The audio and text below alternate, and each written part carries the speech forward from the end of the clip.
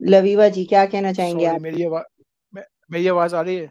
जी आ रही है आपकी आवाज़। तो मैंने आपको ज़्यादा सुना नहीं था पर मुझे इतना है कि आप क्रिश्चियन की भी बात कर रहे थे क्रिश्चियनिटी की बात कर रहे थे और इस्लाम की भी। आप मुस्लिम है ना? हाँ हाँ बोलिए बोलिए आगे आप अच्छा, क्वेश्चन चलिए बुनियादी बुनियादी क्वेश्चन करते हैं क्योंकि मैंने आपको सुना था तो मेरे सर में तो दर्द होना शुरू हो गया। अब सिर्फ़ कुछ बुनियादी क्वेश्चंस हैं वो मैं आपसे पूछ लेता हूँ कि मुझे किसने पैदा किया? किसने आपको पैदा किया? हाँ जी जी। हाँ आपको खु, खुदा ने खुदा ने। खुदा ने पैदा किया। आर यू श्योर या या अगर मैं कहूँ कि साबित करके दे दूँ कि मुझे खुदा ने पैदा नहीं किया तो फिर मुझे तो मेरी माँ ने साबित पैदा किया। मुझे तो मेरी माँ ने पैदा किया। मैं तो एक छोटा सा सेल था ओके बहुत छोटा सा सेल था ठीक है ना? मेरी माँ ने हाँ हाँ। मुझे पैदा किया छह महीने नौ महीने में पेट में रहा फिर इस दुनिया में आया। अब मुझे ये बताएँ कि हमारे अल्लाह मियाँ जो है हमारे प्यारे अल्लाह मियाँ ये हमको प्रोटेक्ट करते हैं ये हमें खाना देते हैं? ये प्रोटेक्शन वही करते हैं अच्छा की अच्छा आप मानते हो कि बॉडी में एक सोल होता है? कि सोल नहीं होता बॉडी में? नहीं मैं नहीं सोल पे मेरा कोई बिलीव नहीं है। आप आत्मा पे बिलीव रखते अच्छा। हो जी सोल नहीं होता सोल आ, नहीं होता। आप मुझे बताइए आज आज गाड़ियाँ आपने देखी है? आजकल ऑटोमेटिक गाड़ियाँ आ रही हैं। ठीक है वो बातें भी नहीं करती तो हैं आर्टिफिशियल इंटेलिजेंस भी होती है। उनको हम ये कह देते हैं टेस्ला हम्म। टेस्ला की गाड़ियाँ कि take me to this this this address वो हमें वहाँ पे ले जाती हैं। हम्म। उनकी सोल होती है। मेरे आप भाई अब you are comparing you are comparing apple with an छोड़िए नहीं नहीं भाई वही है मैं भी मशीन ही हूँ मैं भी मुझे भी मैं पेट्रोल नहीं लेता हूँ लेकिन मैं फ़ूड ज़रूर लेता हूँ। यार आप बड़ी अजीब तरह की बातें कर रहे हो। पहले वो क्वेश्चन मैंने आपसे ये किया था कि मुझे अल्लाह ने पैदा किया कि आपने कहा मैंने पूछा था कि मुझे किसने पैदा किया आपने कहा अल्लाह ने किया। मैंने कहा नहीं हम्म। मुझे तो मेरी माँ ने पैदा किया। मुझे खाना भी मेरी माँ ने दिया। तो आपकी आपकी बॉडी में सोल नहीं है? मुझे प्रोटेक्शन भी मेरी माँ ने प्रोवाइड की। मुझे ये बताएँ आप पाकिस्तान से हो कि इंडिया से हो? इंडिया से यार आप पर्सनल क्वेश्चन नहीं पूछिए ना आप मुझसे पाकिस्तान ये आप तो एक वाकया हुआ था आप एक नाम ना, अ, अ, मैं यही आपको बताना चाह रहा हूँ ना भाई मुझे अल्लाह ने पैदा नहीं किया। मुझे तो मेरी माँ ने पैदा किया है। तो दुख अच्छा नहीं बड़े बड़े दर्द के साथ जना बल्कि जो प्रेगनेंसी का भी पीरियड होता है नौ नाइन मंथ का वो भी बहुत तकलीफ़ दे होता है एक मदर के लिए। तो आप सारा क्रेडिट दे रहे हो अल्लाह को ठीक है? लेकिन मैं हाँ नहीं हाँ तो आप सोल को मानते नहीं उसका मतलब ना? आप you don't believe in souls right soul can you prove soul अगर आप प्रूव कर सकते हो तो मान लेता हूँ मैं। अच्छा मैं पूछूँगा do you believe there is a dark energy there is dark matter do you believe there is a dark matter जा रहे हो मैं अब ये पूछने जा रहा था आपसे कि मुझे किसने प्रूफ नहीं मेरे भाई मैं पूछूँगा तो डार्क लेके जा रहे हो मुझको ठीक है? अब क्योंकि हर चीज़ का तो प्रूफ ही नहीं होता। डार्क एनर्जी डार्क एनर्जी यार उसको छोड़ो आज एनर्जी का अभी तक साइंटिस्ट मानते हैं साइंस इतनी एडवांस नहीं थी कि वो डार्क एनर्जी के मुतलक उसने कुछ चीज़ें बताई हों या उसके उसने कोई बातें की हूँ। तो मेरे भाई सुनो आप 80 परसेंट छोड़िए ऑफ़ ना universe is made up of dark energy आपका मैन जहन आपको क्या कहता है कि मुझे किसने पैदा किया? और मुझे प्रोटेक्ट मेरे भाई यूनिवर्स की 80 percent of energy dark energy है पता है आपको? 80 percent of universe dark energy से बना है। कहीं कोई प्रूफ ही नहीं है उसका। मैं लीजिए बता नहीं डार्क प्रूफ ही नहीं है। जा रहे हैं ठीक है? हाँ? ये हाँ डार्क मैटर का भी प्रूफ नहीं है लेकिन डार्क मैटर एग्जिस्ट करता है।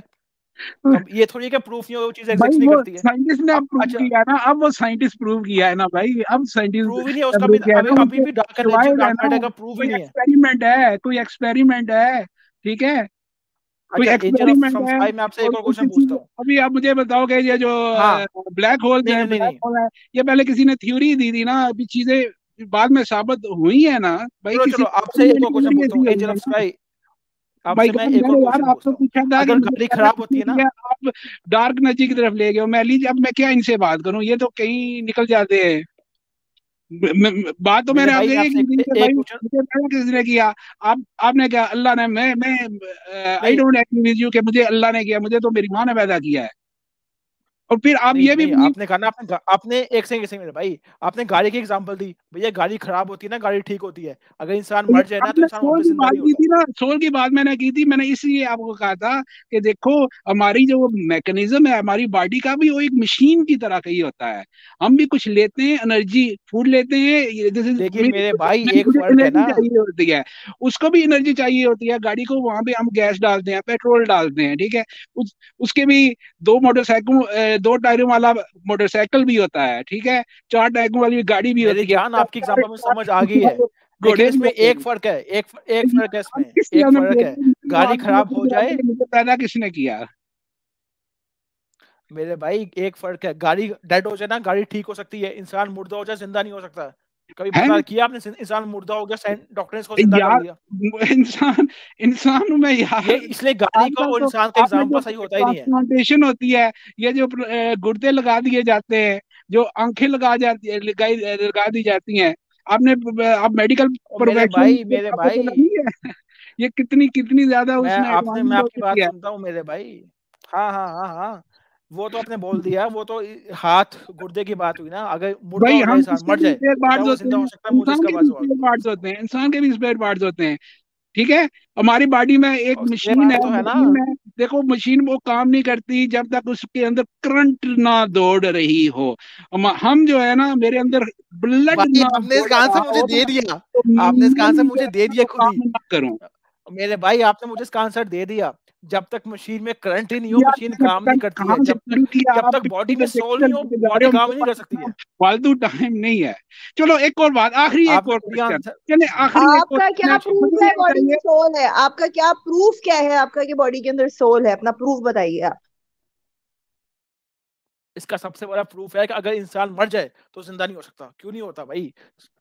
सोल तो एक बार बॉडी से तो निकल गया तो आपका दिमाग देखिए आपको हार्ट अटैक हो जाए आपका हार्ट काम करना बंद कर दे तो इंसान ज़िंदा नहीं रहता है। उसका सोल से क्या ताल्लुक है? सोल सा ताल्लुक यही तो है जैसे इसने बोला ना बॉडी कार को करंट चाहिए होती है मशीन को काम करने के लिए। वैसे ही अगर इंसान में सोल नहीं होगा तो बॉडी डेड हो जाएगी। यही यही इसने खुद इसने आंसर दे दिया thank you angel from sky बंद कर देगी ठीक है ना? इंसान की बॉडी जब काम करना बंद कर देती है जब हार्ट अटैक हो जाता है तो करंट आपकी बॉडी में हार्ट से आ रहा होता है पंप कर रहा होता है ब्लड आपका। कोई सोल तो पुश नहीं कर रहा लेकिन ब्रेन तो ज़िंदा होता है ना। हाँ? ब्रेन तो ज़िंदा होता है ना मैरिज ब्रेन कहाँ से ज़िंदा होगा? जब आपका हार्ट अटैक हो जाएगा बंदा मर गया तो ज़िंदा कहाँ से हो गया ब्रेन हार्ट अटैक का मतलब ये नहीं है कि ब्रेन जा नहीं रहा उसमें वो होता है कि जब बंदे को वो हो जाए उसको मैं आपको बताता हूँ इंग्लिश में उसको वर्ड के हार्ट अटैक उसको बोलते हैं। अच्छा तो हमारी जो आत्मा है सोल है वो कहाँ पे होती है? हमारी ब्रेन में होती है? जी जी जी मेरे भाई ऐसे करंट कहाँ पे होती है? करंट कहाँ पे होती है? करंट की जगह थोड़ी होती है। नहीं ये ये तो हमारा जनरेटर होता है ना हमारा हमारा हार्ट जो है जनरेटर होता है इसमें पंप करंट नहीं होता। मुझे ये बता करंट कहाँ पे मुझे बता दीजिए मैं बात कर रहा हूँ मैं? करंट कहाँ पे होती है?